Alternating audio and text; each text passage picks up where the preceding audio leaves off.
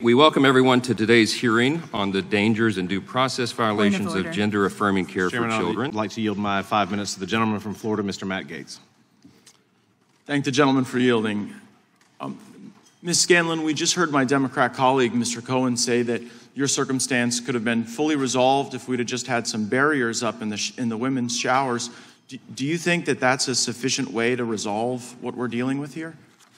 I think by um, Representative Cohen admitting that we need barriers acknowledges there are biological differences between men and women. And by acknowledging that we need to have private spaces that are separate from each other, why can't we just use the locker rooms that we've always used, the men's and the women's? If you're acknowledging that we need protection and privacy from these men, then you're acknowledging that the locker rooms we've always used are the correct ones. My next question is for uh, Shannon Minter. Are you familiar with the changes in law recently in Washington state regarding transgender youth? Uh, yes.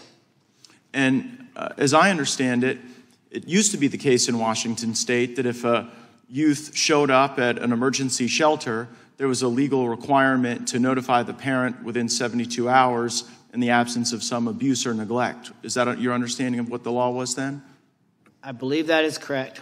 And then the law changed where now in Washington state, if someone shows up to one of these shelters who's a minor uh, and says that their parents don't agree with them changing their gender, that the shelter no longer has to notify the parents within 72 hours and can instead notify a government authority. Do I have that right? The parents will be notified. There's no question about that. This simply allows for a delay in order to allow them to investigate to make sure this child is going to be safe. There's no question that the parents will be notified. How long should parents have to wait, not knowing where their child is, while a government process is playing out to make a gender determination? There's no reason to treat these situations with transgender young, pe- young people who may be in danger or at risk of abuse at home any differently than we would treat any other child where we have reason, reasonable basis to worry about that and to investigate that. But it does short, treat them A short delay to protect the but- safety of young people is always But warranted. how long is the delay? How long do you want a parent not knowing where their kid is because the kid says they want to change their gender? Just tell me how long a delay is you, you think is appropriate. I want authorities to treat these kids with the same care they treat all other children. No, but- And but it will, be it will be a short delay, and the parents Hold on, will be though, notified. because, well, you, you won't tell us how long a delay. So if you're watching this, just imagine you're that parent and you don't know where your child is. And the law now says there's a 72 hour period where the shelter has to notify you. And that 72 hour period for any child of any gender or any circumstance is a period to investigate whether there's abuse in the home. But beyond that, beyond 72 hours, you got to tell the parent. And so it's, it's really important to understand here what the uh, proponents of radical gender ideology want. They want to stand between a parent and a child on these important decisions. And I don't think it's abuse if a parent says, I'm not going to get my child gender blockers.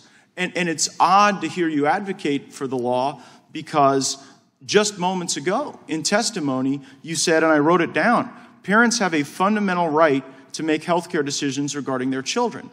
But, but if in Washington state today, the parent makes the decision that they're not going to provide that gender affirming care, what it does is it unlocks for the government a window of time to keep the child away from the parent and to not tell the parent where the kid is.